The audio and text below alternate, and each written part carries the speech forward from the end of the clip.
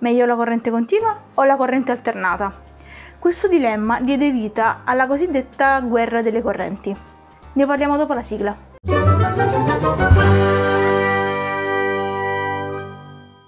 Benvenuti in questo nuovo video di Fisica in pillole. Come sempre prima di iniziare col video vi ricordo di iscrivervi al canale e di seguirmi anche sugli altri social, ma soprattutto di attivare la campanellina, perché nelle prossime settimane uscirà il primo video di una nuova serie che porterò sul canale. Vi lascio un trailer del video e poi ritorniamo alla nostra guerra delle correnti.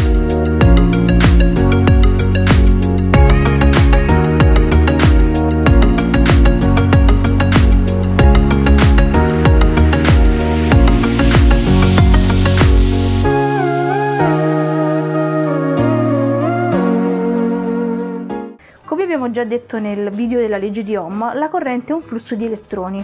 In particolare, la corrente fluisce nel verso opposto al flusso degli elettroni, poiché gli elettroni sono negativi. Una corrente continua è una corrente in cui gli elettroni non cambiano la direzione in cui stanno andando e vanno sempre nella stessa direzione. La corrente alternata invece è una corrente in cui gli elettroni cambiano la propria direzione una volta scorrono in un verso e una volta scorrono in un altro verso, ma questo cambiamento di verso non avviene istantaneamente e bruscamente, avviene gradualmente. Quindi quello che noi vediamo come risultato finale è una corrente che ha un andamento cosiddetto sinusoidale, quello che state vedendo qui. La corrente cresce fino a un massimo, poi lentamente decresce fino a raggiungere un minimo, per poi ritornare al massimo. Nel 1880 Thomas Edison, che era il padre della corrente continua, fondò una compagnia di energia elettrica e nel 1882 fondò la prima centrale elettrica a corrente continua. Questo tipo di centrale diede la possibilità a zone in cui non c'era il carbone di poter avere l'energia elettrica in casa. Il problema di questo tipo di centrale elettrica era che poteva raggiungere poche case e molto vicine alla centrale elettrica.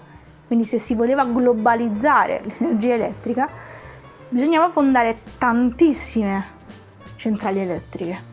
Edison non badava a questi problemi, era un fermo sostenitore della corrente continua. Negli stessi anni, personaggi come Tesla, Galileo Ferraris e altri importanti scienziati di tutto il mondo si occuparono anche della corrente alternata eh, trovarono delle soluzioni per trasformare la corrente alternata in corrente continua. Avevano notato è che la corrente alternata non aveva gli stessi problemi della corrente continua, cioè sulle lunghe distanze non c'è lo stesso dispendio di energia, ce n'è molto meno.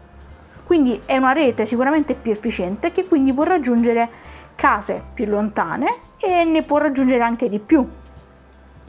Adesso vediamo il perché la perdita di energia dipende dalla corrente. Quindi dobbiamo cercare di minimizzare la corrente. Ma su quale altra variabile possiamo giocare? Sulla tensione, a differenza di potenziale. Perché la potenza è uguale a V per I. Quindi se voglio minimizzare I, devo aumentare V. Ma non esistevano metodi economici per aumentare V nel caso della corrente continua mentre esistevano nel caso della corrente alternata. Quindi diciamo che noi abbiamo già la soluzione a tutti i problemi. Perché è nata la guerra? Fu una guerra soprattutto economica, tra virgolette, perché vide nascere un'altra azienda concorrente a quella di Edison e quindi Edison non voleva perdere i propri i profitti.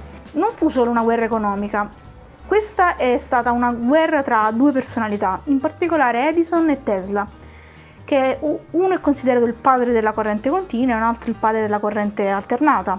Tra Tesla ed Edison non scorreva buon sangue, i due avevano collaborato negli anni precedenti nell'azienda di Edison ed Edison l'aveva praticamente cacciato. Quindi tra i due non correva buon sangue e questa guerra non fu solo quindi una guerra economica ma fu una guerra di ideali.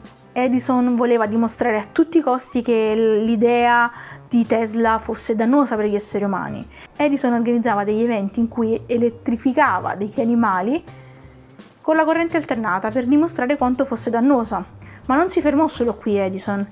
Lui cercò di dimostrare a tutti i costi anche costruendo una sedia elettrica basata sulla corrente alternata.